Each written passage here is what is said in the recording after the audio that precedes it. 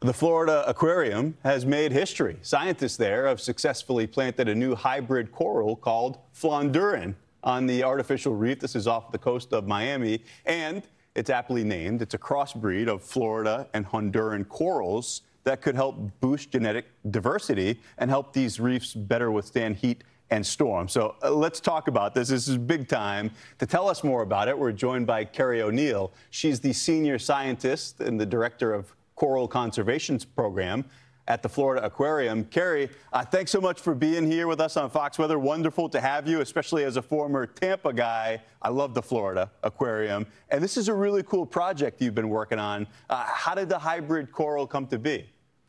Yeah, thank you for having me, Ian.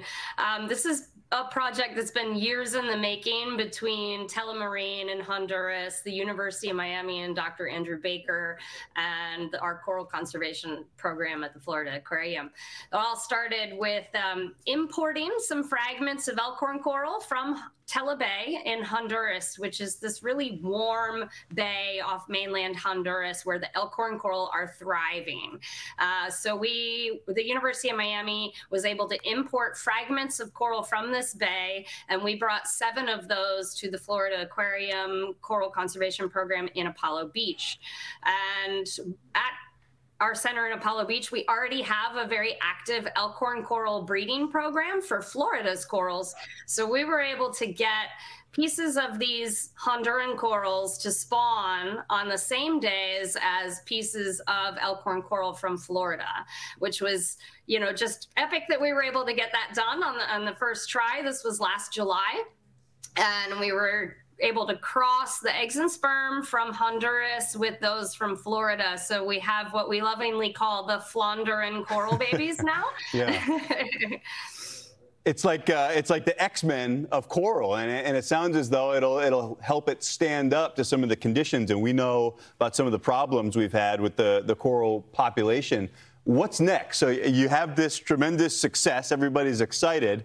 Do you plant this now? Out on the, the artificial reef off of Miami? Yeah, so in early July, the University of Miami planted the first 35 Flonduran corals, along with 35, what we say, the purebred Florida corals.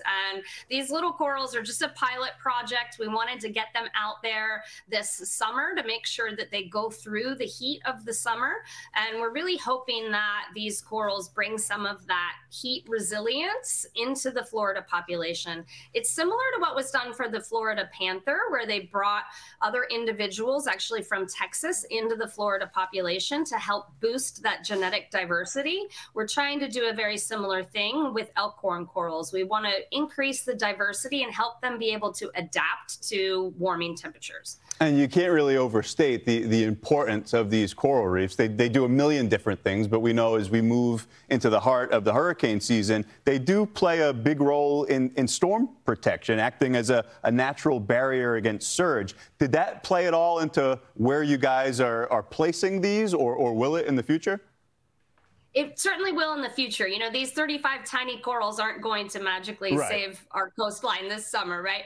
Um, this is the beginning of a very large project. But elkhorn coral at one time was the one of the most common corals that we would find along our coastline in Florida and throughout the Caribbean. And they form these really large thickets that can grow right up to the surface with big, thick branches that break wave energy.